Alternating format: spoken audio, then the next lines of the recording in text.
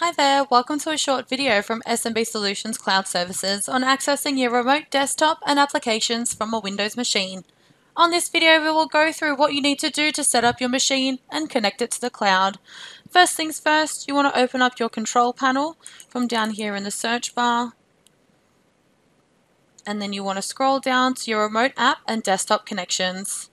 Once you're inside here on the left hand side, you'll see Access Remote App and Desktops. And then you want to type in the link that you see me typing here and your partner would have sent you already. So that's https colon slash slash gateway dot smbsolutions.com.au and click next. There we are and it can see that that connection is ready to set up. Now what you want to do is you want to put in your credentials.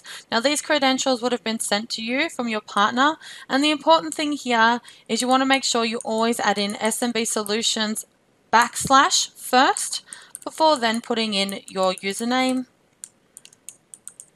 and password. Now if you wanted to remember you, do click remember me so you don't have to type in your password every time and then click OK when you're ready.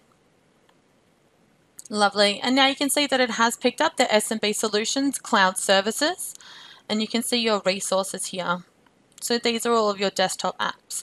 Now rather than having to go through the control panel, it might be a good idea to actually pin this to your start bar. So say for example, if we want to do this to our SAP Business One, you just right click there and pin to start and that'll make it much easier for you to access. And that's everything. Thank you so much.